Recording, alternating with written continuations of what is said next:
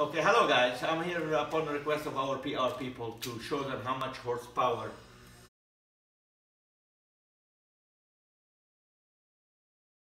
Well, guess what? I'm gonna fasten to it this. I got this from the PR people. They have like their CDs in it. That's a CD cover. I put in some water. I'm gonna fasten it here. And I have expert in vibration, Mr. Kurt Ferguson. He comes with oh,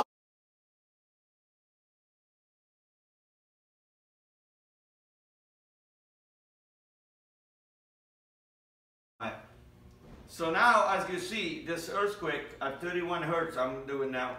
I'm doing this vibration. Now watch when I crank up the power.